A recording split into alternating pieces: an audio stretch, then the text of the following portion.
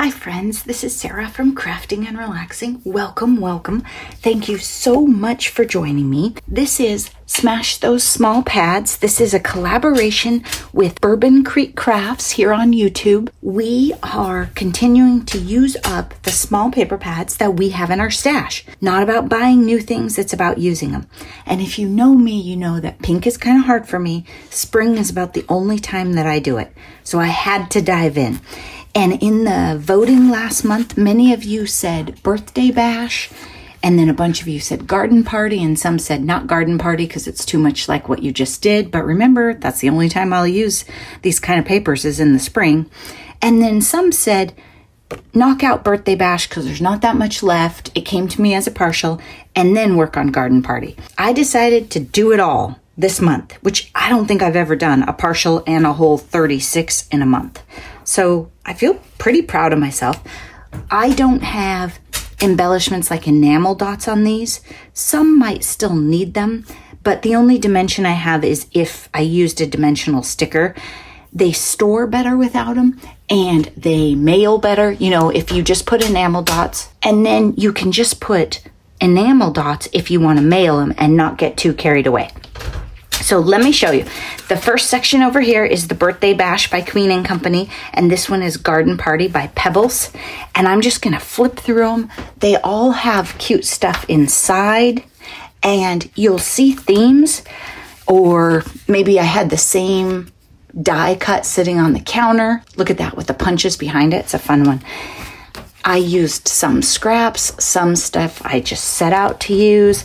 I just had a great time and every one of them has something cute inside. And these are blue hats stamped on gray paper that I fussy cut. There we go. Look at that. Woofing you a happy birthday. These are like the sorry you're having a rough day from last month, but I just loved them as birthday cards. Look at this one. And all I did was stamp it on colored paper and then die cut it or fussy cut it and I used white or silver pen on the collar and the thing. That's it. Just a quick pop. Happy birthday. These die cuts went so nicely with this paper. Another woofing you a happy birthday. Happy birthday. I was testing out a stamp and it was a weird color of paper and it worked. And these are stamped in navy on green just making birthday cards and going for it. Then on this one, this one I had so few scraps left, I didn't even show you, and I made 13 total. On this one, I made 28, and one of them I already gave away, so you didn't even get to see that one. I have a bunch of these little tiny embellishments left, a few of the larger ones. I'll use those in journals or clusters or something, but they just didn't work really well for cards for me. And then some of the umbrella paper if you have an umbrella die or something like that, you could have done more rain theme cards, but I still have some rain left. this paper was interesting because it had bees and some rain things and a lot of floral and then a lot of gardening floral type stuff. So I sort of ran with the themes in the paper, just buzzing by to say thank you. And I have bees, big hugs. A bunch of these were from the sentiment day that we did. So these are my friend Noni's dies that I had cut out and I used a ton of them. Big hugs.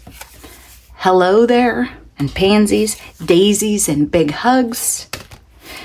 This one, I tried to use some of those little tinies from this collection. I did like these. A lot of the sentiments repeated, so I had to choose carefully. So you can use them, they just weren't my favorite. You're the Bee's Knees, and this was from a different sticker collection that I had, and just a black scallop behind it to make it pop.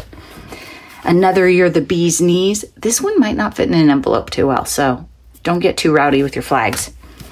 Get Well. I threw away the Soon because it was too big. Joy, this was my very last down to the wire card. This is what I came up with when I flipped this over and realized I had one unfinished with sympathy, second to the last. You can tell I was a little tired. Happy birthday. Again, I used some of those little ones. I think part of the trick is don't cut them all apart. Stop and look at them because then you get a little scale if you leave some connected. And this is a pearlescent paper with sympathy and some peonies. Get well and some pansies Grateful to You. This is a die from Honeybee Stamps, and then I just stamped the To You down there. This one was in my I've got to use that stash. Craft Scraps gave me these stamps a long time ago, and I had used the sentiment, but I don't think I'd ever used this girl. And she's dancing in the rain, as far as I'm concerned. So it's a rain card. There is some iridescence on her, but it's not going to show probably in the video. Thanks. This is the die that Kathleen sent me, and I think this is a really fun way to use it. I was kind of challenged by it, but I like how these turned out. I got so low on paper, I had to pull this from another pad. Grateful. There's a lot going on here, but I think it works. Thanks and bees. Thanks. This is one of my scrap cards, and then a die cut. I feel like there might be a cat hair in there. That's a gift from my household to you. Miss You. It's about gardening, and then it has the flower seeds. I guess they'd be flower packages, right? Or something. And then die cut. Look at this one. Get Well. And it's a black kitty. And I put tiny little white embellishments on it to just make it pop a little more. Looking up at the Get Well. That one's pretty cute too, huh? I like that one. This one I tried. I tried a black souffle pen on it to save it. I didn't have enough contrast and I had too many patterns in my die cut layers. So just be careful. Sometimes you push the envelope and love it. Sometimes you do it and go, eh, I don't love it. Count your rainbows, not your thunderstorms. And it's a rain themed card. I thought this one was pretty fun. I like how it turned out. I did mix the white and the cream, but I think the world goes on bloom where you're planted. This was, I want to credit her, but I'm stuck. I think this was a Jess Crafts layout, one of her one sheet wonders. And I think she had her sentiment right here. I was experimenting. Look at this one. It's a black die on the butterflies. So those are all of my cards. I had fun. There was a lot of TV watching. There's no process video. Sorry. It's just, you know, some before work, some after work, some watching TV at night, here and there. So there isn't a process video because I was everywhere all the time. I'm not going to throw this out. I don't throw these out. You can use this just after 36 sheets. I wasn't inspired to, so I'll put this in my stash. And then for next month, there's not going to be a vote, but this is what we're doing. I am going to do my giant batch of school staff cards. So 70 at least. I think the number's probably more than that now. It might be 75. I don't know how much paper you need. I just know how much paper I bought. I would guess that if you used you could do an inexpensive pack of solid cardstock and probably one of these and make a whole bunch of cards. I found one that I loved. I love school and it has blue stars, and I picked that up. And then, not long after, I think in the same day when I was in Kansas City, I found this one at a Tuesday morning and I couldn't leave it behind. So, I think I'm well stocked. If we run out, then I'll dip into this authentique partial. It's creams and more vintage colors though, so I'd rather just stick with this and be done. So, next month, you should see a ridiculous amount. I haven't decided if they're thank yous.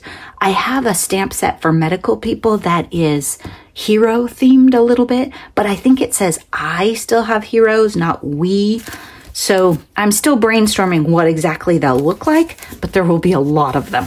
Be sure to check out what Beth made at Bourbon Creek Crafts and come back next month. Thanks so much for watching. Bye bye.